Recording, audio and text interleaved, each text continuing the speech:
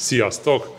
Amint azt az egyik videóban már említettem, fogunk csinálni egy hegesztő suli nevű videós sorozatot. Ennek a támogatója az iWeld hegesztés technikai cég. Itt vagyunk az ő bemutató termükbe. A cég képviseletében Gangel Balázs, Kellecsényi Attila tanár úr pedig Sziasztok. a Madács Imre Technikum és Szakképző Iskola szakoktatója. Ő fogja az én kezemet is, ő fog belőlem hegesztőt csinálni. Sziasztok, én is üdvözlök mindenkit, és még egyszer is megköszönném az iWeb-nek, hogy biztosította a helyet ahhoz, hogy be tudjuk mutatni és el tudjuk kezdeni a hegesztő iskolát. A Gödöllői iskolában tanítunk négy fajta eljárást. Az egyik a bevont elektródás ívhegesztés, aminek a kódszáma 111-es. Van a fogyóelektródás aktív védőgázas ívhegesztés, ez a 135-ös eljárás. Van a avihegesztés, argonvédőgázas ívhegesztés, ez a 141-es kódszámú, és van a gázhegesztés, a 311-es eljárás. Ezt a négy eljárást oktatom, oktatjuk a Gödöllői iskolában. Az első a bevont elektródás hívhegesztés, a 111-es eljárás. Itt van egy pici kis inverteres gépünk, gyakorlatilag ez, ettől van egy kisebb is, ez egy 200 amperes bevont elektródás kis gép. Ez gyakorlatilag otthon is lehet ezt használni, tehát hogyha valakinek szükséges otthon vásárolni egy ilyen gépet, nem túl drága, de majd a Balázs el fogja nekünk mondani, hogy milyen ár, Balázs, milyen árban van ez a gép, hogyha valaki vásárolni Ennek az akarna. ajánlott fogyasztói ára bruttó 79 ezer forint. Na, de úgy tudom, hogy van ettől kisebb gép is, ugye? Így van, van a HD 170-es. Aha, HD 170. 170 amper tud, így van. Ez még kisebb, azt megmutatom nektek, azért fölemelem. Itt van. Én mindig úgy szoktam ezt hívni, retikül, mert olyan pici. Ez azért előnyös, ez tudja, ez körülbelül 160 amperes. van? 120 amperes. 120 amperes, de van 160 amperes is ebből. Pici, könnyű kis inverteres gép. Ezt otthon is lehet használni, sőt, az iparban is azért jó ezt használni, mert az ember, én azért mondom retikülnek, van ehhez egy, most ezen pont nincsen rajta, fölveszi a vállára, fölveszi a vállára, és el tud menni akár 20-30 métert, és nincs feszültségesés. Tehát ebből a szempontból helyszíneszeléshez kiválóan alkalmas, nem nehéz, tehát gyakorlatilag Tehát akár létrán is. akár létrán is lehet használni, igen. Tehát már kinőttük azt a korszakot, hogy három-négy ember kellett ehhez. A 120 amper, a 120 amper az mire elég?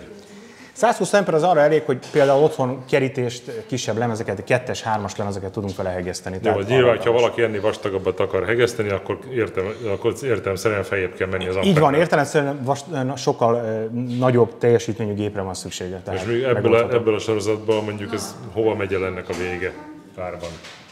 Ö, ennek, a, ennek a fogyasztói ára az bruttó 34 ezer forint. De hogyha mi nagyobb teljesítményt akarok, mert nagyobb uh, amperre van szükségem, akkor ez körülbelül hol megy el? Hát akkor az körülbelül, hogyha 200 amperos, akkor az ilyen bruttó 79 ezer forint. Jó.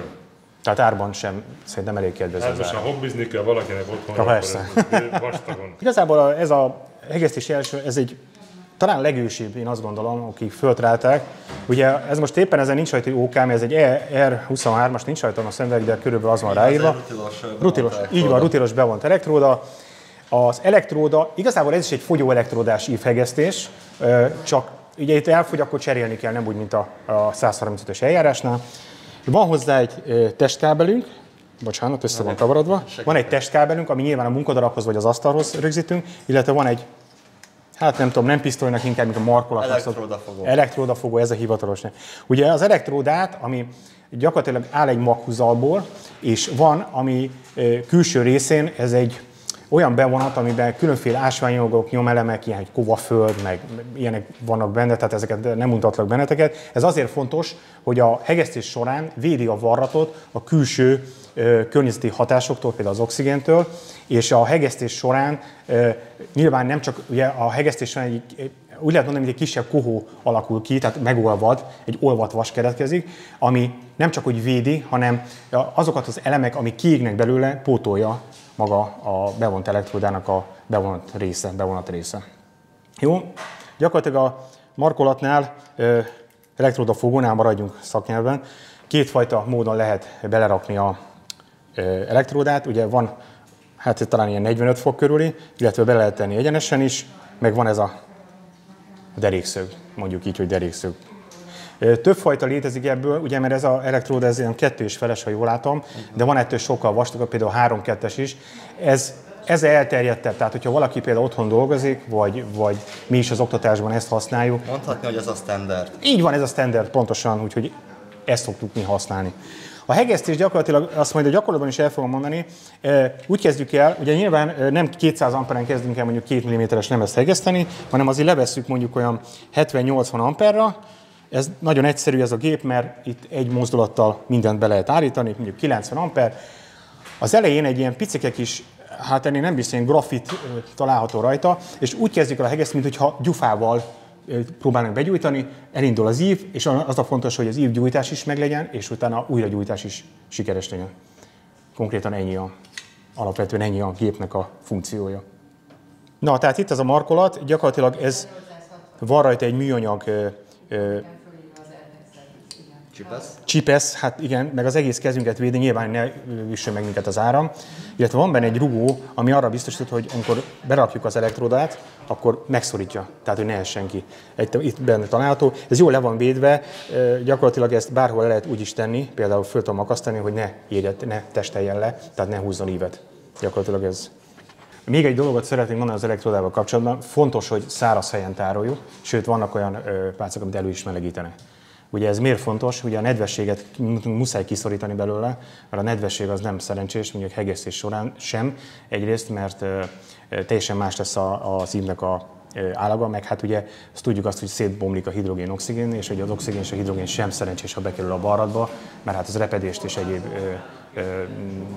olyan tulajdonságokat okoz, ami a varratnak a gyengítését idézi elő. Ezért fontos az, hogy előmelegítve legyen a pálca, vagy nyilván ebben az esetben nem kell, hogy elkezdünk hegeszteni pillanatokat felforrósodik, de vannak olyan helyzetek, amikor szükséges. Mikor kell előmelegíteni? Hát olyan helyzetek, mint a vastagabb anyagokat hegesztünk például, többsoros varatokat, vagy például öntvényeknél fontos az, hogy előmelegítse az ember a, az anyagot, mint az öntvényt is elő kell melegíteni, de erről majd külön fogunk majd beszélni, mert az öntvény ez egy különleges, tehát ott azért a hegesztés sem annyira egyszerű, ráadásul a pálca is teljesen más. Fontos a hegesztés során a munkavédelem. Ugye most arról fogunk beszélni, hogy milyen a hege, mit, mit, heg, mit hegesztünk, milyen gépekkel, viszont az első és legfontosabb, hogy milyen munkavédelmi eszközöket használjunk. Ugye az egyik ilyen a pajzs, ami fontos ugye a hegesztés során, mert hát akkor begyullad a szemünk, meg leégünk, tehát azért az nem biztos, hogy kellemes. És valóban éjszaka nem fogunk tudni aludni. Mert I- ilyen, amikor leégsz. Ilyen amikor, valaki, ilyen, amikor valaki nem használja a védőfelszerelést. Oké. Okay. Vannak különféle pajzsaink, egy kicsit arra megyek, hogy lássátok. Itt van a Balázs, el fogja mondani nekünk, hogy a, miért, milyen funkciókat tud árban, teljesítményben, méretben, hogy melyiket érdemes megvásárolni. Balázs? Kezdjük is a Panther szercével. Segítesz? Igen, igen. Nekem? Tokka vonóval, pillanat. Kicsit beszorult ide, de legyen, szuper. Ez egy négy szenzoros automata hegesztő fejpajzs, ami felnyitható, és alatta látható egy nagy panoráma köszörűs vexi. Ugye, köszörök, akkor nem levenem a maszkot. Így van, megállsz, hegesztesz, felnyitod, tudsz köszörülni, utána lecsukod és hegesztesz tovább. Ennek a pajzsnak a különlegessége, hogy nem az oldalán, illetve a belsején lehet állítani a sötétedést, késleltetési idő, kivilágosodási időt, hanem van hozzá itt az oldalra rácsiptetve egy távirányító, Cső, amit hogyha megnyomunk, ezt megmutatom a kamerának, Aha. lehet állítani a sötétedési időt, késleltetési időt, köszörű funkciót, és hogyha esetleg nem akarjuk visszatenni a, a pajzs oldalára, akkor, akkor akár a gépre is rátehető, mert mágneses. Hát ez a ez egy, ez full egy extrás. Igen, ez egy prémium kategóriás pajzs, ebből van uh, friss levegős is, amihez ugye, ugye már van egy kámzsa, a levegőcső és a szűrő, amit a hegesztő ugye az oldalra tud uh, csatolni. Azt mikor használjuk? Hát, a, hát ezt akkor használjuk, hogyha zárt térben hegesztünk, nyomástartóban hegesztünk, illetve olyan Pontosan. anyagokat hegesztünk, vagy olyan, olyan gázzal hegesztünk. Igen, fontos az, hogy ugye a friss levegőt, tehát a levegőt fúj, nem mindenki szereti, mert ugye az, azért az arcában megy az embernek a levegő. Én használtam miatt, nekem nem volt gond, de valakinek akár be is gyulladhat, de ez, ez nagyon-nagyon ritka, tehát érdemesebb tehát meg ahol nincs elszívás, tehát az is fontos, tehát ha munkavédelemről beszélünk, ahol nincs elszívás, ott a friss levegős pajz az, az fontos. Nyilván ennek az ára is más, ugye? Így van. Ennek a pajzsnak a fogyasztói ára az bruttó ilyen 70 ezer forint körül mozog. Hát Luxus kapunk hozzá. Igen, és akkor mi van még ilyen pajzsban? hogy a-. Nem, nem a csúcs kategóriát akarom Segítek, megvenni, hanem valami Uh, olcsóbbat. hogyha uh, van egy ugyanilyen 4 szenzoros pajzs, aminek már ugye nagyobb a látómezeje, ez uh, tényleg. 5.1 coll, uh, és ennek se az oldalán állítjuk a, a pajzsnak a sötétedési idejét, készletetési időt, stb., hanem belül, ebben pont benne van még a zsákja, belül digitálisan lehet állítani a sötétedést, illetve az egyéb funkciókat, illetve három program elmenthető benne. Tehát, hogyha te mondjuk hegesztesz otthon vékony egyes rozsdamentes anyagot ö, 9-es, 10-es sötét, sötétedéssel, és utána egy vastagabb szénacél 10-est nagyobb árammal, akkor beállítod, hogy az egyik 9-es sötétedés legyen, a másik 11-es, ö, és csak átnyomod a, a programot, nem kell újra beállítani az egész menüjét. És ez egy, ez egy prémium kategóriába sorolható pajzs. Ennek körülbelül a, a bruttó fogyasztói ára ilyen 5, bocsánat, 48 ezer forint uh-huh. körül mozog. 48-50, igen. Ugye, mert nekünk olyan van, ami külsőnek lehet állítani, de teljesen jó, teljesen. Így van.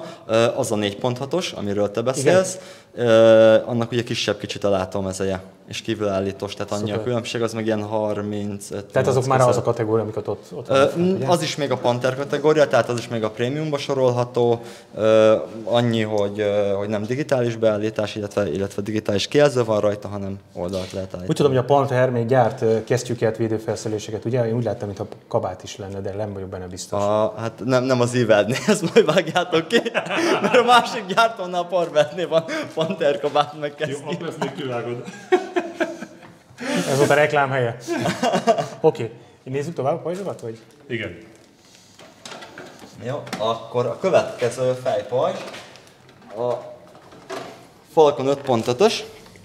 Ö, Ennek 5,5 szól a látómezeje, ez is 4 szenzoros, és azt kell tudni, hogy ez az Eveldnek a legnagyobb pajzsa, meg szerintem a piacon is az egyik legnagyobb látómezős. Ez 100 milliszer 100 milli, tehát igen nagy. Ugye kívül lehet beállítani a paramétereket, sötétedést, ezt egészen 9-től 13-ig.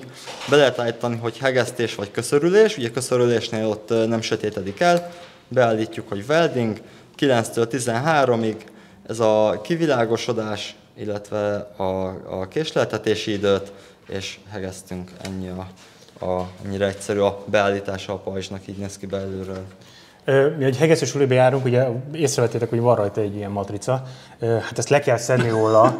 Ne, ne, most azért mondom, mert én is elkövettem ezt, hogy legelső, amikor elkezdtem hegeszteni, nem értettem, hogy miért olyan sötét. Hát mondták, akkor nem volt rajta ilyen írás, hogy azért szedjem le, akkor lehet, hogy látok, de belül is van egy ilyen. Ugye ez egy plexit, ez időként cserélni kell, tehát ezt lehet vásárolni. Így van, így mert van, ugye a, főleg a fogyóelektrodás hegesztés, a fröcskölés, vagy ha köszörültök vele, akkor ezt tedi lehet. Tehát ettől világosabb, tehát csak hogy ne kövessétek el azt a hibát, amit én. Ez még a kezdetek Jó, ez mennyibe kerül? van. Ennek a bruttó fogyasztója 30 ezer forint. Ez már olcsóbb ugye, mint, mint egy Panther. Szuper, nagyon jó. Oké, okay, vissza is rakom. Oké, köszönöm. Illetve bemutatnám a, a, a legolcsóbb pajzsunkat, egy kétszenzoros uh, Noradai 3-as uh, Black Base-t.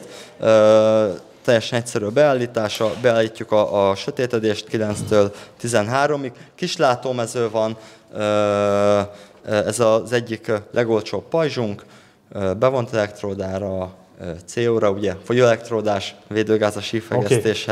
Ö, ö, tökéletes. Avihoz már nem ajánljuk a két szenzor miatt, illetve a kis látómező miatt, de, de aki vesz egy, egy, egy 120 amperos kis ö, Microforce, Hát, kezdő- MMA-s hegesztőgépet, aki kezdő, és nem szeretne drága pajzsba investálni, az ez bruttó 12 ezer, 13 ezer forintért meg tudja tenni. Hát ez teljesen jó szerintem indulásnak. Hobbizni. Úgyis meg, Teljesen. ha elkezdesz hobbizni, úgyis megveszed a drágámat. Idővel, oké. Okay. Tehát ez, én, én azt tapasztalom hogy az életemben során, hogy nem szabad megvenni, úgyis meg fog venni a jobbat. Meg kell venni egyből a jobbat. Hát figyelj, startolásra jó, tehát ugródeszkának arra megfelelő. Az Oké. ember kiderül, kideríti magáról, hogy igazán fog ő hegeszteni, vagy nem. Jó, hát ez menet közben alakul ki, tehát nyilván, hogyha majd igényesebb vagy, és többet szánsz rá, akkor kell, hogy legyen egy jobb pajzsod. Oké, okay. védőfelszerelésről beszéltünk, van kesztyünk, ugye? Rájverni nagyon jó kis kesztyűket lehet kapni. Ö, általában a vastagabbakat, közben itt kiveszem, mutatok két fajtát, ha megnézitek. Három. Három fajta, na, na tessék. Bőségzavara. Bőségzavara. Ö, Most látom, ö, most kaptam ezt az információt, hogy egy keflár, Kevlar cénával van varva, így van. Az mit jelent? a sárga. az azt jelenti, hogy... Hogy nagy a hőállósága. Van, nagy a hőállósága kesztyűnek. Ö, Ezeket általában vagy a fogyó elektródás, aktív védőgázos ívhegesztés, CO hegesztéshez használjuk, ugye bevont az, ahol fröcskölés van, nyilván nagy sokkal melegebb az alkatrész. Ez is oda tartozik ehhez a kesztyűhöz. Balázs, milyen árban vannak ezek a kesztyűk úgy körülbelül? Egyszer két-három ezer forint. Tehát nem egy olyan nagy tétel. Érdemes megvenni, mert aki kesztyű nélkül hegeszt, vagy védőfelszerelés nélkül, Az úgy jár, mint az, az úgy István. jár, mint az István. Oké, okay. Jogos, igen, igen, igen. Kesztyűt vettem. Az ja, ami- És tudod, mire jó még? Grillezni.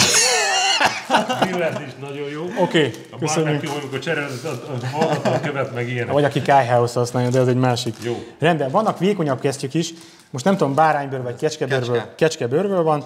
Ez egy vékonyabb, eh, ezt az avi hegesztéshez használjuk. Ez sokkal finomabb munkákhoz könnyebben megfogni, mert ugye ebbe azért avízni, Fog csak ezt kiveszem. Ó, köszönöm szépen. Ebbe avízni azért nem, nem érzi az ember a gombot, akkor olyan, olyan mint hogyha valami, nem tudom, Igen, vastag a nem, nem, nem lehet vele egeszteni. De elmondom nektek, hogy ebben van olyan funkció, ami sokkal hosszabb, ugye? Így van. E, és az a helyzet, hogy ezt nem is, a tanulóim nem is nagyon használják, mindig ezt használják mindenhez, aminek nem örülök, mert hát egy idő után tönkre megy. Pont ezért, mert meg lehet fogni a pisztolyt. Oké, okay, ezek is ilyen pár ezer forintos, ugye? Így van. És ezt is Ez- ez lehet. Miből van? 3-4 ezer forint. E, Kecskeből. Kecske? Igen, igen, igen. Kecske. Mhm, Az, bőr. Az biztos. Így van. És ugye Kevlar cérnás, tehát azt, azt ki kell emelni. Oké, okay, ezt nem tudtam. Oké, okay, hát ez nem X, mert ugye mi szokott lenni, általában mindig a, valahogy a hegesztés során mindig az egyik újnál, vagy ennél szokott, mert ugye a tanuló automatikusan megfogja a forró alkatrészt, nem jó, használjuk hozzá a fogót, mert tönkre megy, egyrészt mélygeted a kezednek, tönkre megy a Kesztyű. kesztyű Mindig ugye általában a varrás mentén megy szét, és ha megnézed itt uh, a mutatóújnál, ez varrásmentes ez a kesztyű, hogy ne, Hoppá. ne, tudjon kiégni, kiszakadni. Hogyha ugye mindig a hegesztő úgy fogja meg, vagy úgy nyúl rá, nem szánt szándékkal véletlenül, és általában itt szokott kiégni, és, ez, és ezek teljesen varrásmentes. az új adott megég, tehát azért azt a funkciót tudja. Jó, szuper. Az új megégés már volt. Az, az már sikerült. El kell kezdeni Ezen egyszer. át kell esni, így van. A szembegyulladásnál nem, azt inkább ne. Tehát Azt már azt én, én is kipróbáltam Az diákként. igen. Hát, mint a homokot szórnának a szemetekbe. konkrétan olyan, hogy véletlenül se próbáljátok ki. Vagy a szemedbe, és az a baj, hogy tél volt. El akartam, felébredtem reggel, hogy homok Aha. van a szemembe, el akartam menni a, az ügyeletre, de hát amikor kinyitottam a lakásajtót, így, így, hogy elmegyek kocsiba, kint hol volt, azonnal léptem vissza az ajtóba, szóltam apámnak, hogy vigyen el az ügyeletre, és utána egy hétig úgy jártam, hogy egy fe, sapka volt a fejemre húzva, de úgy, hogy eddig. Igen, arra figyeljetek, mert eh, hogy mondják, hogy krumplit tegyére, meg ilyenek, én nem tudom, hogy segít, valószínűleg hűti a szemet, ezt azért gondolják, de Nem, jobb bajtot kell használni, és akkor nincs ilyen a éjszakai alvás azért biztos, hogy fontosabb, mint hogy Még egy hétig Igen. mentem Látom vakon, és egyébként az a lényeg a vakonjárásnak, hogy ugyanaz a tempóval kell közlekedni, és olyan szépen mész a se hiszed. Na de jó. ne próbáld ki. Ne, ez vicc, de na- nem szabad, nem Nagyon, szabad. nagyon rossz, nagyon kellemetlen. Na ezért is fontos a munkavédelem, és ezért kell a pajzs. Ezt egyezőtek meg. Oké. Okay. Igen, és és tényleg én ott, ott akkor eldöntöttem, hogy nem veszünk közönt semmi olcsó szart. Jó, ezek már nem olyanok, meg nekem még ilyen CO-val hegesztettem, és ez a egyik kézzel tudod ide tartod ezt a pajzsot, ez a régi, Az a nagyon, kézipajzs. ez ilyen nagyon öreg szar volt már. A CO hegesztés, ugye mindig fölmerül, mi most is mondtuk a CO hegesztést. Ez onnan jön, hogy a, a, ö, Pánki Óbdé Egyetemen a Kovács Mihály tanár úr mondta, hogy CO-t azt majd a sörbe, meg a, a, a, a szódába, jó? Tehát itt, és akkor itt tanultuk meg. Védőgaz. Nyilván. De mindenki ezt mondja, mert ez elterjedt már a köznyelvben. Itt vagyunk a tanműhelyben, a tanár úr fog nekünk segíteni. Itt van a szerkezet, amit láttatok a videóban. Van nekünk ez, meg van két kábelünk, be van dugva a 220-ba, 2.30-ban. de nem 230-ba teljesen kiszámolja. Így, így van, van, ezek után már. Jó, mit Oké. csinálunk most? Bekapcsoljuk hátul a gépet, megnézzük, hogy működik-e. Általában egy új gépnél azért ez elő szokott fordulni. Oké, okay. Mert elő szokott fordulni, hogy működik. Volt már rá példa, hogy nem működött, és gyárból kijött, tehát volt ilyen. Aha. Hát azért, úgy, mint az új autókat is tesztelni kell, ezt te is nagyon jól tudod. Oké, okay. kiírja 200 amper, tehát ennyit tud a gép. Beszéltünk korábban róla, hogy nem tud 200 amper, csak egy pár percig tudunk vele hegeszteni, de ezzel most De nem. úgyse hegeztünk egy Így pár van, percig. tehát nem, de nem is 200 amperre, mert ezzel elvágjuk a vasat. Oké. Okay. Van rajta itt elől egy gomb, amivel tudjuk, de mielőtt még bármi mást is csinálunk, kezdjük az alapoknál, jó? Van hozzá egy munkakábelünk, bocsánat, így van, oké. Okay. Hogy azt mondjuk, hogy elektróda fogunk, rendben? Melyik végére tesszük? Ugye mindig az a fontos, mert valahol be van jelölve az, hogy mint egy szamárvezető, hogy egyiket a pozitívra, a másikat negatívra. Mi van, hogyha rosszul csinálom? Semmi. Mert először is azért, mert az elsőt föltesszük ide, negatívra tesszük ezt. És valaki biztos meg fog szólni, miért nem a másikra. Hát azért, mert ugye van egyenes, egyenáram fordított polaritás, egyenáram egyenes hegesztéshez gyakorlatilag mi ezt használjuk. Egyenáram fordított polaritás, és egyenáram egyenes polaritás. Biztos jól mondtam. Ha nem jó, akkor bocsássatok meg. Már fáradt vagyok. Na, oké, a következő, tehát föltettük a elektródafogót, hogy markolatnak is mondják, de szerintem inkább elektródafogó. Van egy ilyen csipeszünk, ezt úgy hívják, hogy testkábel. Ezt tesszük a pozitív oldalra, oké? Okay? Csodálatos, bemegy a helyére, szuper, működik. Korábban beszéltünk róla, hogy ezt a, ezt a fogót, ugye ez, ezek általában 150, 200, 300 amperessel vannak, nyilván ez 200 amperes, ez bírja maximális áramerősségen is. Oké. Okay. Hova tesszük? Vagy a, munka, a, a munkapadra, vagy a asztalra, vagy hozzátesszük magához a alkatrészre. Ez attól függ, hogy mekkora alkatrészt hegesztünk. Rendben? Oké. Okay. Fogunk egy elektródát. Most éppen itt, de fölveszem a szemüvegem, hogy lássam, mi van ráírva. Azt mondja, hogy OK4610-es. Ez egy rutil cellulóz elektróda. Általában mi ezt szoktuk itt használni, vagy a rutilcellulóz, vagy a rutil-rutilos, attól függ. Tudom, hogy sokan másképp vélekednek, valaki a bázikus szereti, de az attól függ, hogy milyen pozícióban, milyen anyaghoz használjuk, és hogy milyen vastagsághoz, tehát ez sok mindentől függ. Ez egy kettősveles pálca, a pálcáról korábban már beszéltünk, azt hiszem István, ugye? Igen. Tehát még egyszer azért nem ismétlem el magamat. Rendben. A hege, ahogy elkezdjük a hegesztést, ugye, mielőtt elkezdenénk a hegesztést, pont itt mutattam a diákoknak korábban, betehetjük derékszögbe is, erről is beszéltünk. Én úgy szoktam csinálni, hogy ha meg, nem tudom, hogy a kamera mutatja, vagy lehet-e látni, van benne ilyen 45 fokos, látható? Szuper. Be vannak ilyen bemarások vannak benne. Ez azért könnyítség számunkra, mert be tudjuk tenni például 45 fokba. Én így szoktam mutatni a, a srácoknak, a diákoknak. Oké? Okay? No, a következő lépés, rá kéne csatlakoztatnunk a asztalra. Az asztalra. Bízom benne, hogy elér odáig. Fantasztikus. Elér. Elég hosszú. Nem tudom, hogy a kamera veszi-e. Rendben. Bőven hosszú. Oké. Okay. Beszéltünk a munkavédelemről. Mit is jelent az? Hozom az eszközöket. Hát nem csupasz kézzel fogjuk meg, én is fölveszem a kabátomat. Mindjárt, ha idehozza nekem valaki, Gábor, legyél kedves, egy kabátot, van itt egy ilyen kék kabát, valahol letettem. Á, van egy pajzsunk. Hő, csúcstek. Ja, még valami, hát ez, ez azt tett, hát ez nagyon jó, ez a, megmondom őszintén, ez, ilyet én még nem láttam, ez ilyen távirányítós, meg nem tudom. Ilyet még nem próbáltam ki, úgyhogy ne haragudjatok rám, hogy most kipróbáljuk. Most kipróbáljuk, oké. Okay. Pajzson beállítjuk a fejméretet, köszönöm. Egyik felnőtt tanulom idehozta a kabátomat, csodálatos. Ugye felöltözünk, Öltöztetőnő van. Á, köszi Gábor. Na tehát, miért kell fölvennünk? Hát egyrészt azért, mert összefröcsköljük magunkat, meg hát védjük a kezünket, mert beszélt István is, hát igen, most már nagyon szép akarod, de legalább lebarnult. Már jó? Na, szép barna, oké. Okay. Alakul. Nagyon jó. Felhúzom, készülök. Oké, okay. fogunk egy kesztyűt. Ugye létezik olyan vékonyabb kesztyű, erről már beszéltünk korábban, ezt inkább az avihoz használjuk, sokkal finomabb, van rövidebb, meg hosszabb változat. De mivel, hogy itt fröcskölni fog, én nem tudom, hogy ez a kefláros, amiről beszéltünk. Á, kevláros. nagyon jó. Fölöltözünk bele. Jó, melegünk lesz nyáron, ez nagyon jó, mikor 40 fok van. Rendben. Na, De muszáj. Így van.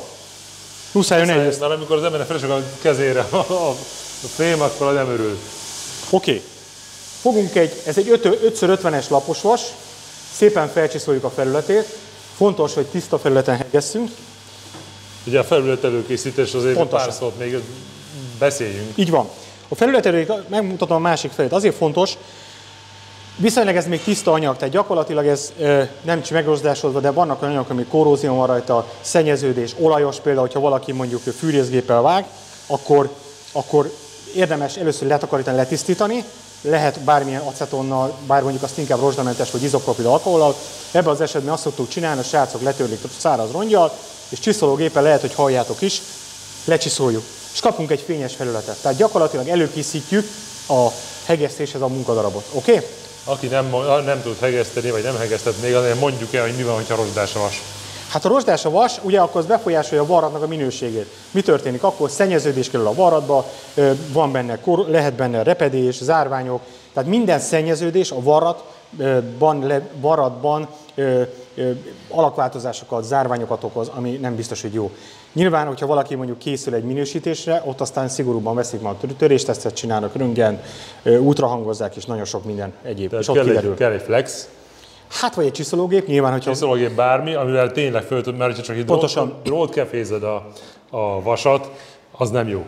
Az Rendben. még, az még nagy gyarosdát leszedi, az, de az semmi. Ugye általában az szokott lenni, hogy otthon a sufniba, vagy kint vannak ilyen rozsdás anyagok, hát azt, azt nem igazán szeretjük, de azért kell fölcsiszolni. Az első, a legelső, amit el szoktunk kezdeni a diákokkal, hogy elkezdjük a hernyóvaratokat. Miért fontos ez? Azért, hogy egyrészt megtanuljuk azt, hogy egyenesen hegesszünk, mert amikor majd rátérünk a sarokvarratnak az egyéb pozíciókra, akkor már kezdjük el, ugye, hogy érezzék, fölvegyék a, szoktuk azt mondani, hogy fölvegyék a műhelyszagot is, meg fölvegyék azt is, hogy e- azt, ugye ebben az esetben húzzuk, nem toljuk, hanem húzzuk a álcát. Ugye itt láttam, pont a Youtube-on volt, hogy lehet, lehet ilyen szamárvezetőt, hogy beflexel, beflexelni, hogy előfordul én nekem is, hogy végig kicsit arrébb megy, hát azért, mert előfordul az ilyen. De az első és legfontosabb, hogy elkezdjük a hernyóvaratokat. Hozzá is érinted a pálcát. Te Az azt a követ, így van. Ugye az, azért is jó a bevonat, mert ugye nem csak arról szól az egész történet, hogy ö, ívet gyújtunk, hanem az újra ö, gyújtásnál is ö, szerepet játszik a bevonat, amiről korábban már beszéltünk. Jó. Eljutottunk erre a pontig, tehát tudjuk, hogy előkészítettük, megvan az elektródánk, következhet a hegesztés, de megnézzük a pajzsot először, mert nem tudom, hogy ez mennyire, hogy működik, és stb. meg ilyenek. Jó. Van egy új pajzsunk, ha megnézitek, akkor korábbi videóból beszéltünk arról, hogy hát ez eléggé opálos vagy sötét.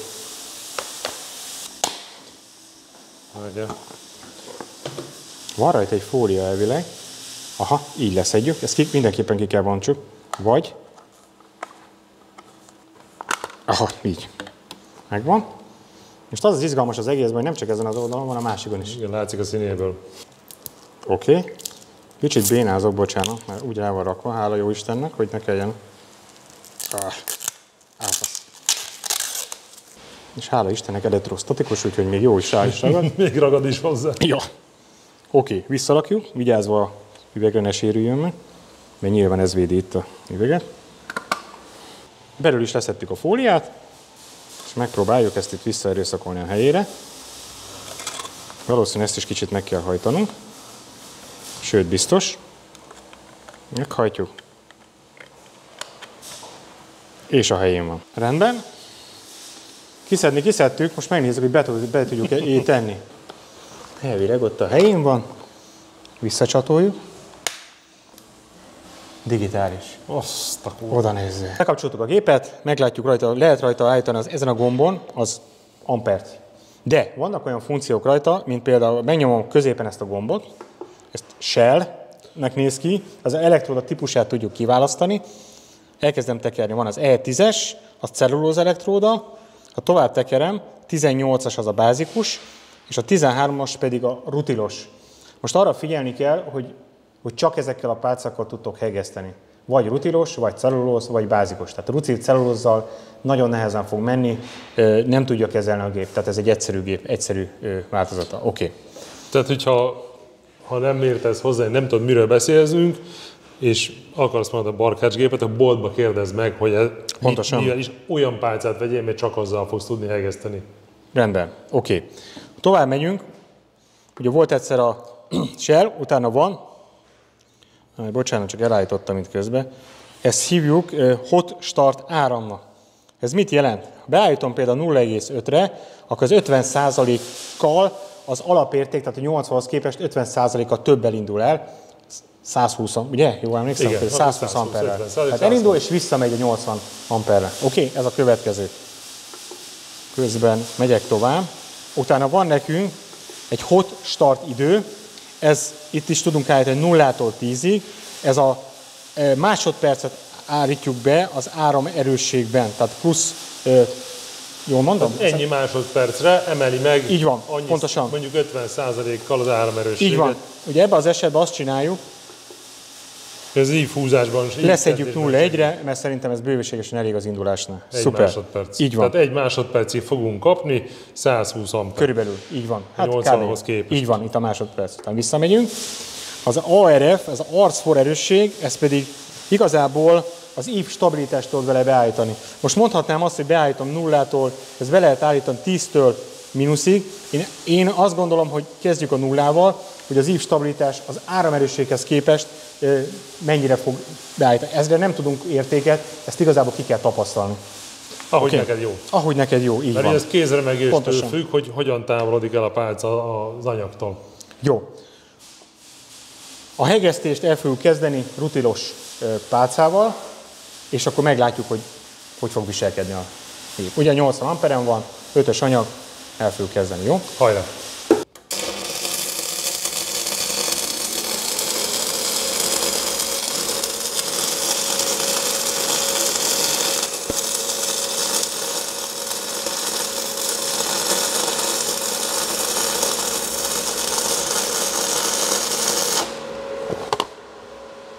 Megvárjuk még kívül. Fontos. Igen, most még nehéz. Nem csak azért sérülhet a varrat, mert izzik. Aha. Tehát ha a salakot leverem le, a varrat is gyakorlatilag. Nyilván fogóval megfogjuk.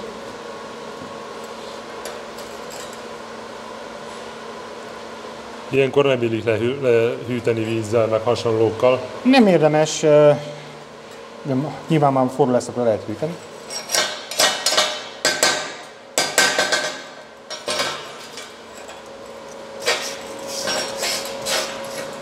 Igen, fogomba fogjuk meg. Igen, mert forró. És kapunk egy ilyen varratot. A végén miért van benne ez a kráter? Hát itt már annyira meleg az anyag, hogy ugye itt kéne beállítani azt az, a, ugye a lefutási időt, azt a 10%-ot, meg ugye itt már szélen annyira forró, hogy itt a hő már nem tud elmenni, hanem elvékonyodik. Tehát nem, nem egy nagy felületen vagyok. Hogyha hosszabban hegesztenék, akkor, akkor ott, ott is mindig egy végén van egy picike mínusz. Ugye elveszem, tehát ez nem olyan, mint az avi hegesztés. Azért. De a hurka szép lett. De ha egy picit visszamegyek, akkor lehet, hogy még egy csöppet visszamegyek, akkor lehet, csak nem félek, hogy salak kerül vele. A hurka szép lett. Hernyóvara. Jó. Oké? Okay? Tehát meghúztuk az első hernyóvaratunkat. Ez a legelső lépés, bárki elkezd tanulni, hogy húz egy hernyóvaratot. Több ilyen laposra szoktunk elhegeszteni. Most ez az első lépés. Tehát most az első órákban ez az, amit a tanulók szoktak gyakorolni, hogy megtanulják az egyenes varatokat, be tudjuk állítani a gépet, hogyan kell a salakot leütni, miért kell a fogót és a munkavédelmet, miért kellenek a munkavédelmi eszközök, ez az első, amit megtanítunk. És utána a következő óránál, amikor már belejöttek a hegesztésbe, akkor meg elkezdjük a sarokvaratot. Az már egy picit nehezebb lesz. Akkor húzzunk egy sarokvaratot. Oké. Okay. Sarokvarat. Rendben? Tehát eljutunk oda, megvolt a hernyóvarat, mindenkinek nagyon jól sikerül. Most elkezdjük a sarokvaratot. Ez egy picit komplikáltabb, nehezebb, mert ugye itt már két anyagot kell összehegesszünk a sarokvaratnál.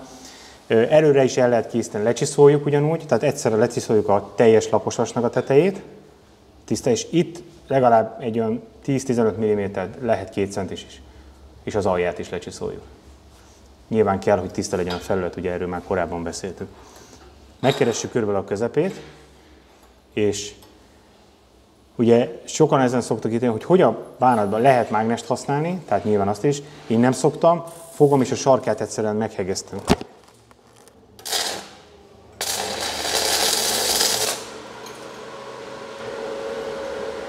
Megvan az első heftünk, megfogjuk az anyagot, elképzelték kicsit megrántja, de hát ezzel nem foglalkozunk.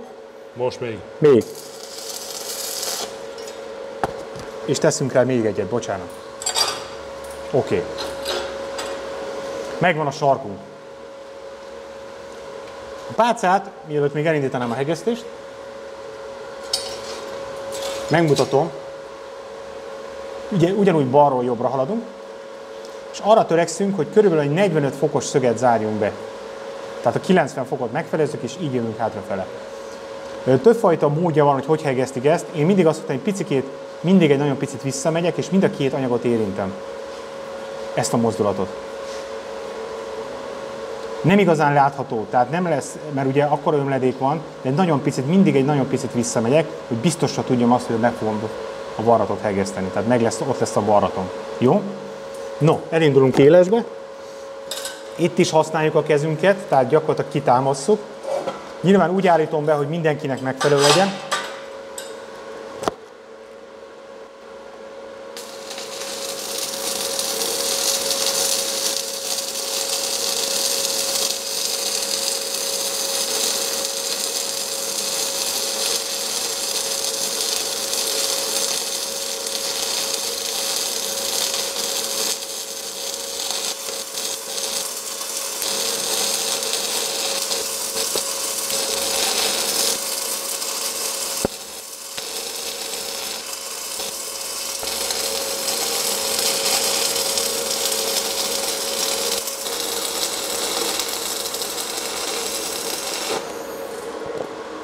Nyilván meg kell rájunk, mert a pálca elfogy.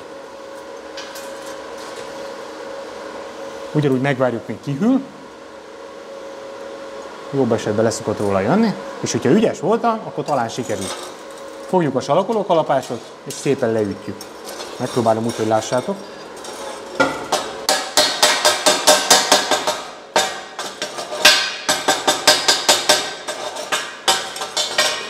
Kis drótkefe,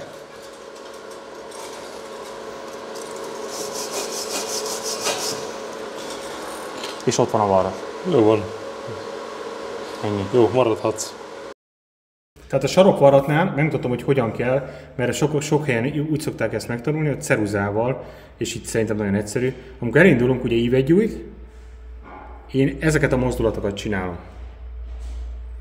Ilyen picit félkör, ugye mind a két anyagra fölmegyek, mind a két anyagot hegesszük, és picit visszamegyek mindig a mintha egy fél körbe visszamennék, egy nagyon picit. Az olvadékba vissza, Olvadékba visszamegyek, igen, mert itt jelenleg nem látjuk a varratot, ugye már salak miatt nem látjuk, és ezzel a mozdulattal, most egy kicsit ilyen bénázok, de ezzel a mozdulattal haladok elő, és így lesz szép egyenletes. Mert akkor biztos, hogy beolvad, mert ha nagyon sietek, akkor elképzelhető, hogy salakzárvány keletkezhet.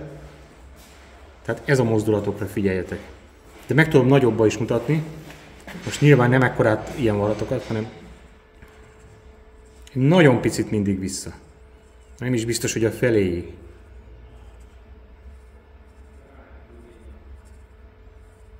És így, látható, így lehet egyenesen haladni. Azért mutatjuk ezt a pálcát, mert föl van ragasztó szalagozva ide. Így van. Ha befogod az elektród a fogóba, akkor tudsz így gyakorolni papíron, hogy mekkora mozgás Így van, tehát még egyszer mutatom, tehát akkor haladsz előre, ilyen furcsa, nem egy rúgó, tehát egy rajzban ilyen rúgónak tűnik, de ezekkel a mozdulatokkal, ha egyenletesen haladsz, nem sietsz, eh, ahogy, tehát van a, ugye a pálcának egy fogyás, ugye arra is figyelni kell, amikor hegesztünk, akkor fogy a pálca is, tehát akkor azt is figyelni kell arra, nehogy. Menni Mert ugye most én itt nagyon könnyedén mutatom ezt, de ugyanúgy a kézzel is ugyan a távolságot meg kell tartanunk, hogy minél közelebb legyünk, ne távolodjunk el, mert akkor szétesik a varatunk, és salak keletkezik benne. Erre kell figyelni. Tehát az egyenes varatnál is ugyanúgy gyújtás, meggyújtom, gyufa mozdulatokkal, és utána, ahogy ívet kapok, én ezt szoktam mutatni, valaki csak simán húzza, ez sem lehet rossz, de itt is nagyon el kell találni, hogy tényleg egyenetes legyen a varrat. Én azért mutatom egy picit, hogy mintha igazítanám a varratot, tehát gyakorlatilag vezetem a varratot, hogy legyen egy egységes, szép varratom. Ez igazából későbbiek folyamán a sarokvarratnál lesz szerencsés, mert ugye ott már két varratot kell hegesztenem. Nyilván most egy picit nagyobb két anyagot. I, bocsánat, két anyagot kell hegesztenem, bocsánat, igen. És utána megáll, mielőtt vissza, kicsit visszamegyek, és elveszem a pálcát. Ennyi. Na, tanár úr, akkor előállítottuk az eszközt. Ugye azt mondtad, hogy, hogy megtámasztom így a... Én úgy szoktam, vagy, a, vagy ott, igen, igen, így is jó. De nyilván a kesztyűben, hát... Hát kesztyűben, jó, kesztyűben támasztom meg, meg Pontosan. kesztyűben fogok hegeszteni. Jó, most nem fontos a kesztyű, de azért, De hogy érezzed, hogy miről beszél. já- játsszuk el, Játsszuk el? játsszuk el. Oké. Jó, Okay. tehát mondjuk, Állhatsz is, így van. mondjuk itt, Nem baj, a kis jó, nincs ott. itt vasam, tehát Nem is baj, ha ráteszed. Várj egy picit. Azaz, legalább nem. Ö, Nem viszi el könnyen. Pontosan. Jó, tehát így meghúzom, meghúzom, ívet húztam, és Egy gyufa, gyufa, mint egy gyufa gyújtana. Igen, nagyon jó. Mondjuk egy kicsit meg kell támasztani jobban. E, így van. Hát valami ilyesmi, így van, így van. Jó csinálod.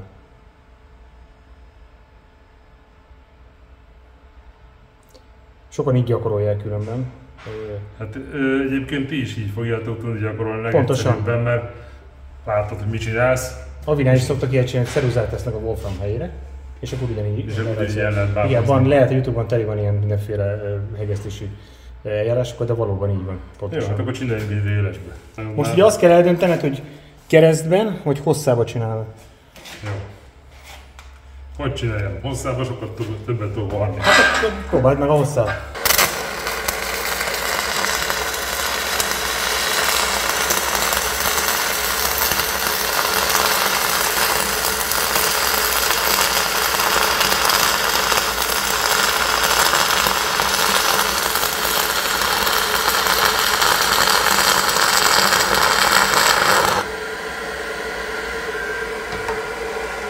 Ugye nem nyúlunk hozzá, mert nehéz.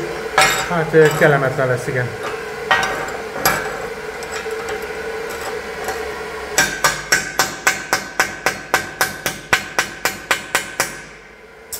Hoppá.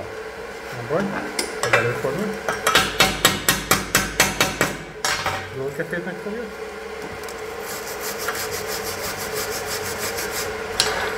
Hát, No.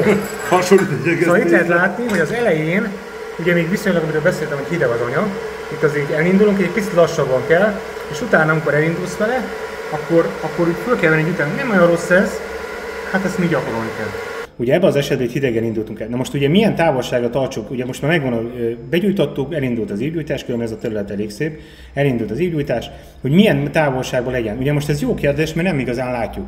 Tehát ha belenyomom, nem is tudom nagyon belenyomni, akkor is le fog égni. Tehát én azt mondom, hogy olyan 2-3 mm, de legalább minél közelebb legyen maga az ölmeletnek a tetejétől. Csak hát ugye ezt nem nagyon látjuk, mert ugye Érezni kell. ezt inkább érezni kell.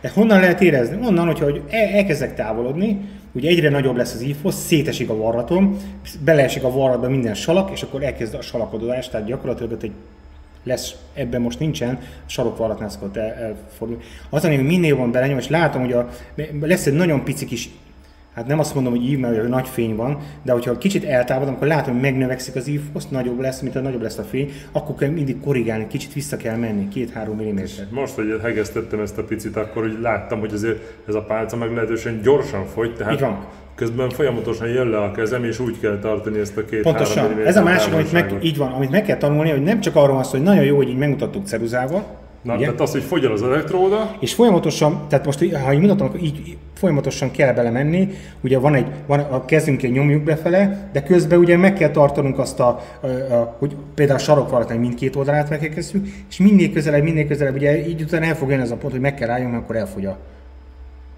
pálcánk. igen. Oké? Okay? Most úgyse fogod azt látni, de, de minél közelebb jön 2-3-4 mm a, tetejétől, mert, mert, de igazából azt érzed, mintha belenyomnád, de és igazából bele is nyomod az ömledékbe, mert ott egy ilyen ömledék alakul ki, megfolyik magyarul az anyag. Uh-huh. Jó. Hoztam egy darab Próbáljuk. nézzük meg azt, hogy ez hogy néz ki. Oké. Okay. Megvan a zárcelvényünk, hogyan hegesztünk zárcelvényt? Ugye ez mindig azért kérdéses, mert általában én nem tudom meghegeszteni úgy, hogy, hogy egyszerre hiába veszem el az áramot, itt ki fog lukadni, ez egy kettes falu. Tehát itt arra törekszünk, hogy szakaszokba, tehát minden oldalát először is megheftölöm, legalább három oldalát, Hogy a meleg ne húzza el. nem csak azért, nyí- így van, ne nyíljon ki. És utána szakaszosan elkezdem hegeszteni. Egy picivel mindig megállok, és egy picit szakaszosan elkezdem hegeszteni. Én még nem találkoztam olyan, hogy valaki végig tudta volna varni. Elképzelhető, hogy van ilyen ember, azt mutassa meg nekem, én, nagyon, én is megtanulnám szívesen. Én nagyon sokat kilótam még fiatalon is vele, de maga a szakaszos varratokkal viszont ez simán meg lehet oldani. Hát mondjuk el a, a kedves nézőknek, hogy mi ez a piros izé ott mellette. Hát ez a piros izé, ez egy mágnes. Na most Úgynevezett hegesztőmágnes. Így van, hegesztőmágnes az azért jó, mert gyakorlatilag, ha bármit derékszögbe rakunk össze, sőt van olyan 45 fokban is, létezik olyan, be tudjuk 45 fokban is állítani, összeállításra nagyon hasznos dolog. Például Nem kell fognod közben. Pontosan. Igen ám, de azért egy dologra azért figyelni kell, ugyanis ez mágnes.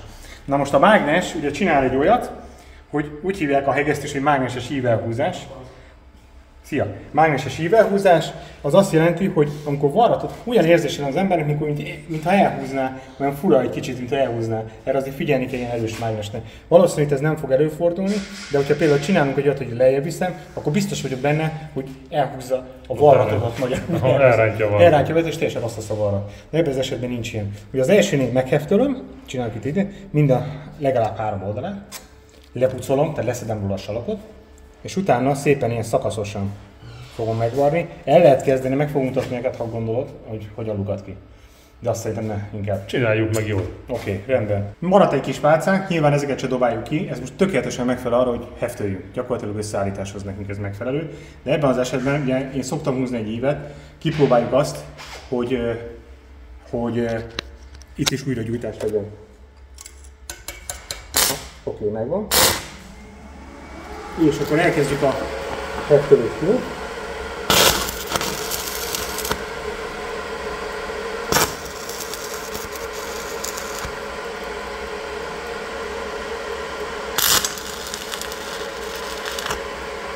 Ebben is láthatjátok, mint olyan, mint nem akarni híve gyújtani, ez csak azért van, mert 45 amperre levettem, mert hirtelen nagy árammal indulnánk, akkor ki is égetnénk. Oké, megnézzük, Meg, hogy meg ugye mondjuk, milyen, például ilyen zárt szervényt mennyivel kell hegeszteni. Hát ilyen Mennyivel kell hegeszteni, ez érdekes, mert be tudom állítani, most olyan 60 amperig be, be fogom állítani, mert a 45 amper nekem heftelésre tökéletes volt, de a 60 amper, 60-65 amper szükséges, különben nem fog összeégni az anyag. De ha egyszerre akarom lehegeszteni, megmutatom azt is, hogy mi lesz a probléma. Nézzük meg 65 ampernél.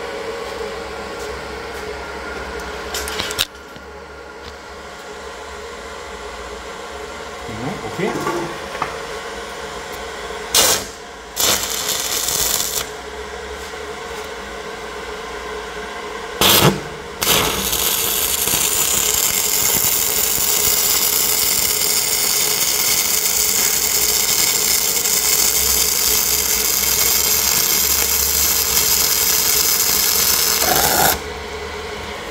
Hát ez.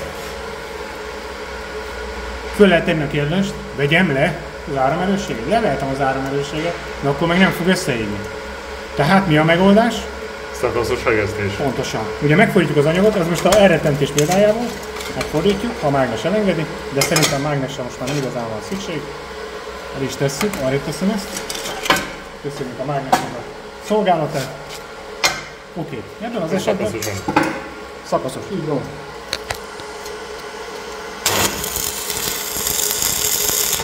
Megállok.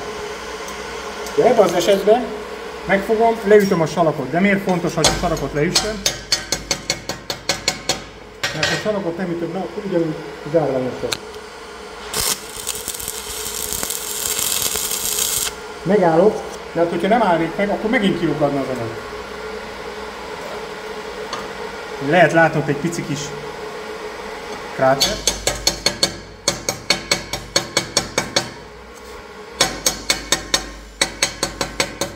Ennyire. Ha megfigyelitek, ott nincsen luk elvileg. Na az előzőnél ugye ott is volt egy kráter. De most megint el fog kirülni a kráter.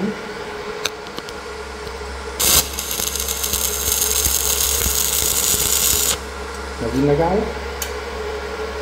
Van, aki úgy csinálja, hogy folyamatosan végighegeszti. Ez is sikerülhet, ha még ízik az anyag. De hogyha egy picit lemaradok, de azt is meg fogom mutatni, akkor az fog történni, hogy megint kilukad.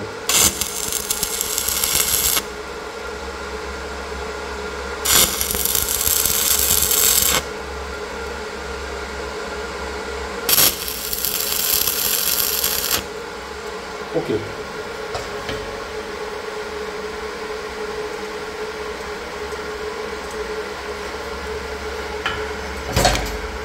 Csak rátesszük, hogy a hőt vízzel le.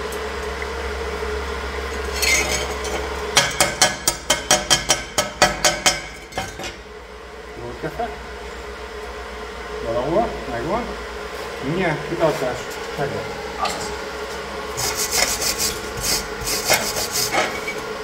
Tehát valami ilyesmi. Oké, okay, ebben az esetben a varrat nem tele annyira gyönyörűen szép, de nyilván gyakorlással ezt lehet még, még tovább fokozni, de általában az ársz mindig lecsiszoljuk. Síkba. Síkba csiszoljuk, és akkor szépen megkapjuk. De nincs rajta átszakadás, nincs rajta zárvány, Jó. ennyi. Eljutottunk a következő lépésre a sarokvarat, ami mögöttem van. Láthatjátok, láthattátok, hogyan hegesztettem, hogyan kellett a pálcát tartanunk, mi az, amire figyelni kell ebben az esetben. Megmutattam, hogy milyen formában mozgassátok a pálcát, a elektródát, és mindenkinek, azt, aki elkezdte gyakorolni, szeretném azt, hogy tényleg jó sikerüljön neki. Próbáljátok meg, ez volt a következő lépés a hernyóvarat után. Ez egy kicsit komplikáltabb, nehezebb, ez csak azért van, mert itt két anyagot kell hegeszteni, és jobban oda kell figyelni. Tehát itt ez a hasonló, mint a vezetés, hogy először tényleg rá kell érezni, meg kell érezni a kezét, hogyan tartja. Itt már nehezebben szokott menni, itt mindig általában esetek túlnyomó többségen be szokott salakolni. Ezt észre is lehet venni, hogy amikor figyeltétek a videót, a sarokvaratnál egységesen volt szépen sárga, és elkezdett kihűlni. Na most, hogyha valahol salak van, vagy bekerül egy zárvány, salakzárvány, ott később fog, vagy korábban fog kihűlni, tehát ott már egy fekete pötty keletkezik. No, hát hogy nem tudom, hogy tudtam-e segíteni, bízom benne, hogy igen. Bármi kérdésetek van, nyugodtan írjatok kommentbe, segítünk, válaszolunk a kérdésre, amire tudunk. Sok jó, sok gyakorlást kívánok mindenkinek, és sok sikert a hegesztéshez. Majd folytatni fogjuk. Tanár úr, köszönjük a segítséget, nektek a figyelmet, remélem, hogy tetszett a sorozat, mert ne- nekem valahogy közel a szívemhez. Az iPad-nek köszönjük a támogatást, és ha valamiféle fémipari cégnél dolgoztok, vezetők vagytok, vagy bármi, és a környezetekben van valami hasonló iskola, mint mondjuk itt a Madács Imre, akik ilyen fémiparral, autóiparral, lakatosokat, autószereleket képeznek, keresitek meg az iskolát, iskolákat, hogyha van elfekvő képe, készleten szerszám, satúpad, tök mindegy, mert az iskoláknak rohadt nagy szüksége van mindenre, mert mástól nem remélhetnek segítséget. Úgyhogy ha a lehetőségetek van, akkor támogassatok iskolákat, mert nektek képeznek szakembereteket, és biztosítsatok nekik gyakorlati helyet, mert magatoknak ki tudjátok tanítani azt a következő szakembergárdát. Nektek még gyerekek, akik nézitek a sorozatot, nem kell mindenkinek menedzsernek lenni. Egy egyszerű, egy egésztő szakmának is rohadt nagy becsülete van. Ha jól csinálod, akkor kiúszhatod magad, büszke lehetsz rá, hogy te ezt jól csinálod, te ebben jó vagy és nem kell menedzsernek lenni. Azon kívül meg marha jó körülményeket tudsz teremteni a családodnak, mert ezeket a szakmákat nagyon jól megfizetik. Na, köszönjük a figyelmet, szevasztok! Sziasztok!